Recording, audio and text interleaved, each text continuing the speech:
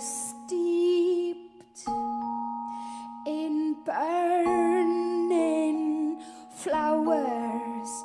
I will take the sun in my mouth and leap into the ripe air alive with closed eyes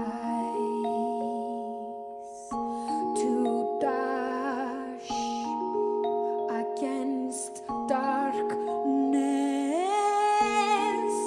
in the sleeping curves of my body.